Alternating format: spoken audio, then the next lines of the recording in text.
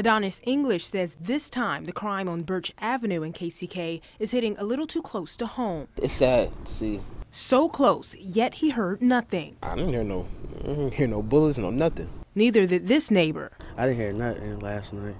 It was quiet like this, and then you just seen the lights going off and on, and that was it. But what police found would leave a loud cry for justice and answers. A double shooting in the Argentine neighborhood, killing two 14 year olds, identified as Samuel Guess and Antonio Johnson. Police say it happened at the KCK apartment complex just after midnight when officers got inside one unit and found the two teens shot, and they're pronounced dead at the scene. And just hours before that deadly shooting. And you can see police behind me. Fox 4 was also there Wednesday morning, where less than a block away, officers responded to another fatal shooting in the Argentine neighborhood. That victim, Davion Hooper, just 34 years old. It's like really scary.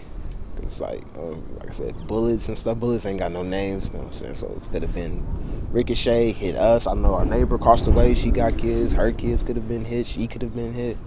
But yeah, it's really sad.